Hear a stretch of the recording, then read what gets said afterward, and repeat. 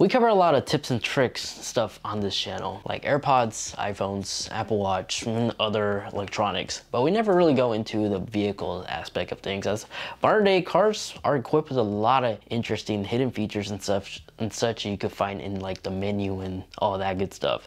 And so in today's video, we're gonna go ahead and start making car videos time to time and going over some tips and tricks about the majority of vehicles. And what better way to start off this series by going over a personal vehicle that I picked up about two years ago. So I bought a 2017 Ford F-150 Raptor. It's equipped with all the bells and whistles as this does have the 802A package. And so if you're in the market for one, or you currently own one, or you're just buying a general F-150, these tips and tricks should also apply. So let's go ahead and get started. The first thing I recommend everybody to at least be aware of is the ability to replace the transmission temperature on your display with the turbo gauge. If your truck is equipped with a turbo, you can swap this with the turbo gauge by just going in this menu and just navigate here.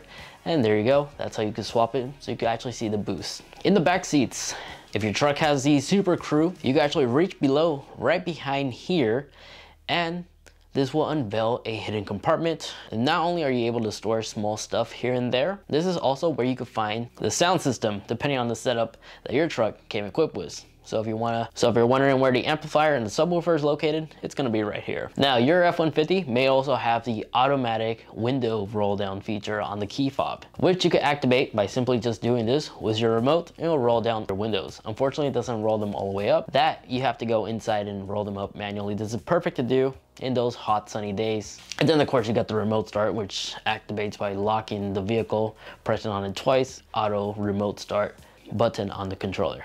Valet mode is also a thing on the second generation Raptor, which you could go in ahead and enable by simply going in here, going in here, tap on this, and this is where you find valet mode. Now, depending on the year your Raptor was made, from my understanding, the 2017 and mid 2018's F-150 Raptors still had the ambient color option, which means the lights you see here can be changed into these different colors. For some reason, Ford decided later on down the line to remove this, but whatever the case may be, if your truck actually has this, to change the ambient mode colors, you can simply just go into the setting tab right here on your menu and go where you see ambient lights, and right here, you'll have a selection of the colors that are available to be swapped. Other nifty things you could do in the infotainment system is the pin code on the side of the door right here on the driver's side to a different pin code if you're not satisfied with the one that your vehicle was automatically equipped with. So to do that, just simply navigate the menu, go into here, click on here. Here is where you can actually change the pin. And there you go. Now that pin code is changed to the pin code that you want. And if you want to leave your key inside your truck, not only can you store it inside the center console and actually lock it and just take out this little valet part with you, but you may have noticed that the truck will not lock if it detects that the key fob is inside. There's a way you can override this by simply leaving the key fob inside your vehicle and just tapping the lower two buttons like so. This will lock the truck with the key fob inside and to enter it simply just enter the pin code that you created or the one that the vehicle was left with by default. Another cool tip about the F-150 Raptor or any Sync 3 system really is if you use Apple CarPlay or even Android Auto, if the navigation voice assistant is really loud or really low, as soon as the voice assistant starts talking, if you quickly rotate the volume knob, that will actually adjust the audio of the navigation. As you can see, it says prompt audio. In other words, the turn-by-turn -turn direction is the audio that you're adjusting, not the music. Now, if your truck is equipped with the full 360 cameras, then you know the windshield wiper washer system also we'll spray the front camera so you can see clearly if it gets muddy or something. Now the Ford app is free to download. It's a free service. This allows you to not just only remote start the truck, lock or unlock and see other information like, like the oil life remaining and all that good stuff, even the tire PSI. You can monitor all that on your smartphone. But if you have an Apple Watch, you could also remote start it or lock the vehicle all off your wrists. Now, it will happen once a while if the infotainment system, for whatever said reason, acts funny, just doesn't go on, like just gives you a black screen, usually this happens once every three months. Instead of turning off the truck and turning it back on while you're driving, if you actually press and hold the power button or the volume knob and the right arrow, for a couple of seconds, this will basically force the unit to reset. So it will fix whatever bug you were experiencing.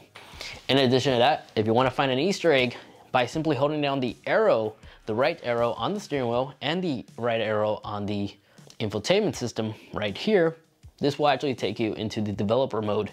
In here, you can do a bunch of fun stuff, including change the wallpaper theme of your Sync 3 system. Unfortunately, this is not permanent because as soon as you turn off the truck, it's gonna reboot and go back to the regular stock theme that your truck came up with. This is just a little fun Easter egg. Now, if your key fob is dead, don't panic if your truck is equipped with push to start. With the dead key fob in the center console where the cup holders are, you could lift this little plastic cover. You'll see a little slot right here. You could insert the key right there and it'll use NFC to detect the key is in place and will still start the vehicle. So if you have a dead battery in your key fob, you're not left stranded. That's the second way you could turn on your pickup.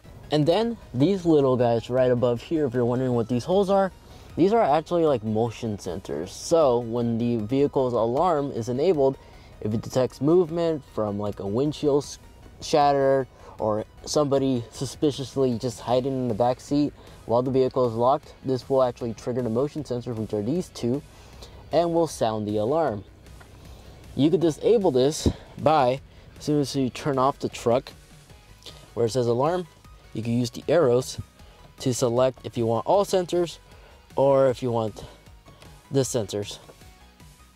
This one will basically disable the motion sensors, but I like to personally leave it on all sensors. The previous person that drove the pickup truck, as soon as I hit unlock, it will adjust everything automatically, including the mirrors, steering wheel, brake and gas pedals, and most importantly, the seats. So to set this up is really easy. So we're just gonna use number three as a fine example. So as soon as I press three, everything moves in position, right? But now I'm not comfortable with the sitting position. So if I move everything to my preference, let's just leave it like this for now to make the video go by faster, including the pedal positions and of course the mirrors. If I hold it for a couple seconds, there's one beep,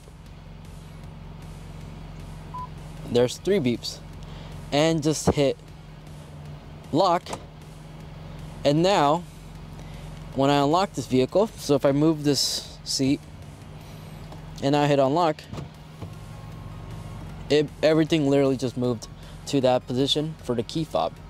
Now, if you're not a fan of the auto engine start, if you switch this to sport mode, this will disable that, but will also give you a more aggressive transmission shift and the truck itself, since it's in sport mode, it's gonna hold the RPMs a little bit longer. So instead of constantly pressing on the uh, disable auto engine start each and every time you get in your truck just set it in sport mode and you don't have to do that anymore. And back to the ambient light. Whatever doors open up, the ambient light will always automatically switch to red. So oncoming traffic can visually spot that the door is open. So yeah, whatever color you leave the ambient mode, as soon as that door opens up, it's gonna be automatically switched to red unless the color that you selected was red to begin with. Now the paddle shifters on the Raptor, if you just leave it on drive, the paddles will not engage. But there's some cool tricks you can do with the paddle shifters even on automatic mode. For example, if you wanna see the 10 speed gears, like the gear number that you're in, by tapping the right paddle shifter, this will actually enable, enable it so you can see what gear you're in. In addition to that, if you tap it again, you'll hide it. But if you engage it, where you can see it, and you hit the left paddle shifter, you could actually disable some of these gears. So if you don't want to utilize all 10 gears of your 10 speed transmission, you can just tap the left paddle shifter, it will disable one, and it will just continue disabling them and disable all the other gears, you could easily do so as it will hold it in place. And lastly, do not remove these side steps. If you plan on doing serious off-roading, the side steps actually act as protection. As all the loose gravel and dirt that the tires pick up, the side steps prevent that from making contact to the wide fenders on the rear. So if you remove these and put those automatic steppers, and you do a lot of serious off-roads, all those rocks are gonna start chipping the fenders. So just a heads up if you're planning on removing them. If you got some good useful information or just found this video in general useful and entertaining to learn some new things about the Raptor, greatly appreciate if you actually leave this video a like, But now that, make sure you get subscribed as this is gonna be a new series that's gonna be introduced on the channel for the vehicle aspect of things. I have done one previously on the Ford Mustang, so if you wanna know some cool tips and tricks that, that the current generation Mustang has to offer, feel free to go ahead and watch this video over here. And then the video right next to that one, that's just another video that YouTube is recommending specifically for you. Thanks so much for watching, take care, and I'll catch you all in the next one. See ya.